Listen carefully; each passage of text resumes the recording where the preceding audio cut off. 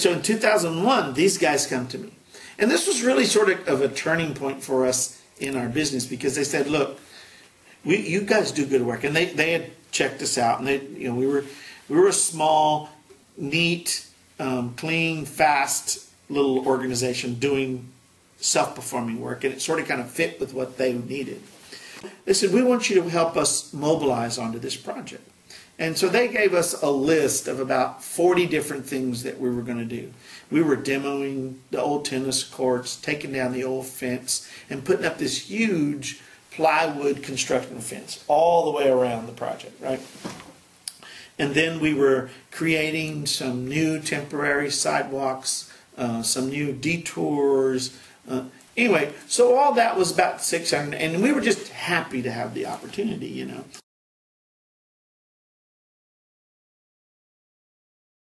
What are some of the qualities of your business that, that you think like caused them to call you back and say, "We want you on this job"? Like, It- I'm, I'm assuming safety's involved. Safety is huge, always huge, especially on the underground utility side.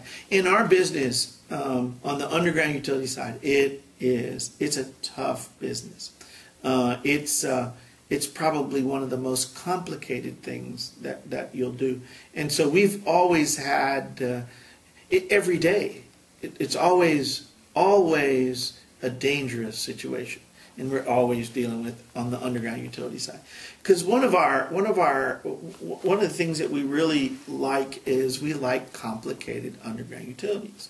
The more complicated the, the better off. Because we knew that getting into this public work that we were going to have to sort of kind of besides being a successful minority owned company we were going to have to differentiate ourselves from our competitors, you know, and and and uh, I was fortunate because I had a mentor in, in that underground utility business, or, or, or I, I I grew um, um, into a relationship with a with a prime contractor who did a lot of heavy underground utilities for the city of Houston, and he was the guy that I was doing sub work for, you know. So name some of the the things that make it complicated. You say you like a complicated job. I mean, I know it's closed spaces and It's confined spaces.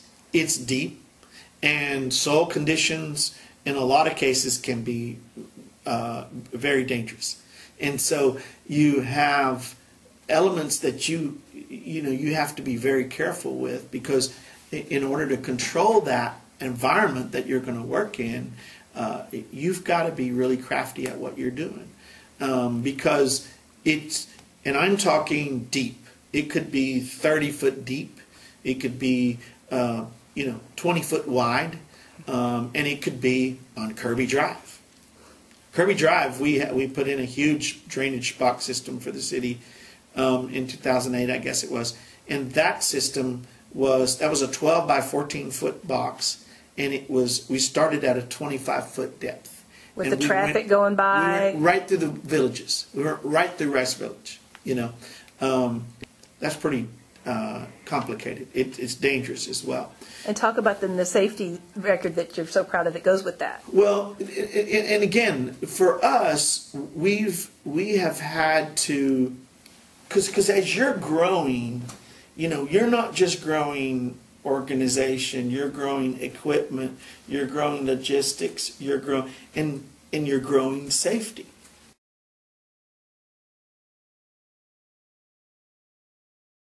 And so we really started working towards okay, we've got to come up with a way. And when I mean detail, it's like when you have a lifting device, you have to make sure that that tag is on that lifting device.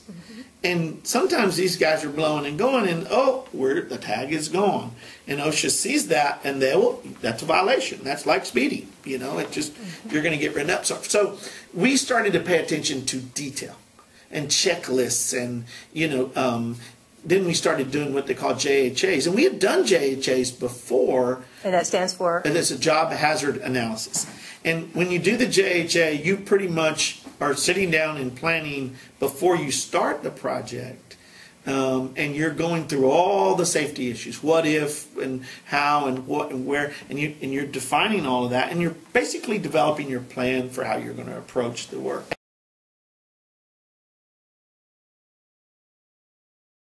You know, some of the key guys are um, uh, these are project uh, superintendents, and these project superintendents uh, when we they're specific. They may be concrete guys, or they may be underground utility guys. It's a little different from your typical, and we, we call them superintendents, but they're underground utility superintendents or concrete paving.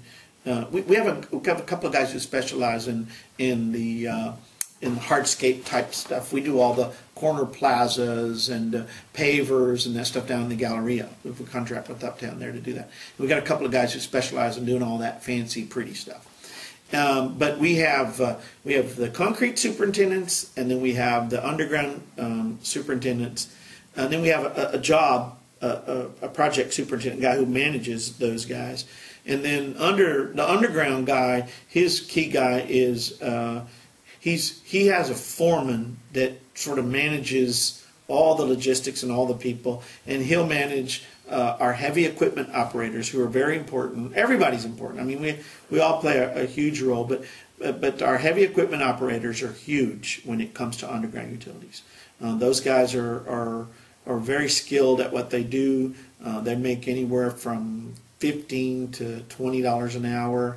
Uh, they usually work 60 or so hours a week, uh, key guys. And then for them, they have what they call uh, pipe layers and, and pipe layer helpers. And those are actually the guys who do the engineering, field engineering for laying those boxes or setting that, laying the water line because you know you have grades and it's not just it's uh, and so the pipe layers are the guys that do all the technical installation, if you will, of the work, and then they have helpers.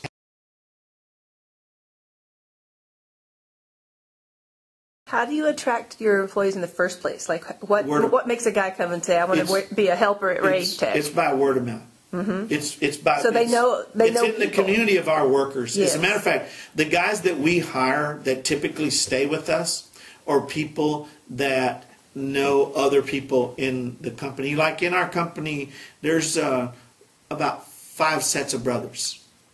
That and and of the and the five sets of brothers. And all five of those sets of brothers there's cousins. You know we e-verify so it's really difficult for us uh, of the 10 guys that walk through the door two of them might have the documents that they need. And, and that's probably the biggest challenge. You must be treating your employees well enough, though, that, that like a brother would tell his cousin, oh we "Yeah, it's a good company. Come work Well, here." we take care of our employees. One we pay them well two we, And they're paid as employees. They're paid as employees. There's not, we don't have a subcontract or any, or contract labor or any of that kind of crazy stuff because all of our work is public work. It's all certified payroll. And I am, I'm a, sort of a, I'm, I'm a hands-on owner. Um, I don't uh, um, uh, go traveling off to Vegas every other month. Uh, and I'm not a big fisherman and not, I don't play a lot of golf, although my wife would love for me to play more golf. But I love my business and I love my employees, and I think they know that. I mean, I've literally told my employees that they they know the kind of person I that am. kind of attitude does. Yeah, yeah, and because you know my dad, my dad was a superintendent for 38 years for Southern Pacific, and uh, my dad had a third third grade education, and he was just uh, he was just a hardworking guy. But his claim to fame was that he spoke Spanish and he spoke English. And so when they were building railroads back in the day, they needed people like Augustine who could speak Spanish and speak English. But one of the things that Dad always said, he said, he said, you treat those people the way you want to be treated. We're all human beings. We probably work better. We're probably more productive if we feel like we're wanted or we're needed. Now, there's some people that take advantage of that. And those are the kind of people that we just, they don't fit in. We eventually get rid of them. But, but the message is that if, and if it starts at the top. I was one of 10. Um, I, I don't think I had my own bed until I was probably you know, 10 or 11 years old. I always had to share a bed with somebody.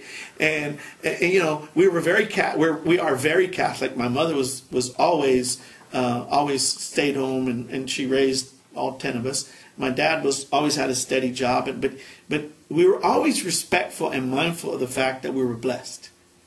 Really. And it was like, we were poor, but I didn't know we were poor. I was the happiest kid in the world. I thought, wow, this is cool. I mean, I love this is life. I love this, you know. And I had my one pair of shoes for the year and my two or three pairs of tough skin blue jeans. I mean, so so you know when you come from that when you come from that that uh, that background, you know you're, you're sitting there and you're looking at these guys and you're going, uh, "That's my dad when he first started," you know, or uh, "That was me when I worked, you know, here or I worked there." So it's it's important that you have compassion for your employees, but you have you have to manage that because you have a business to run as well.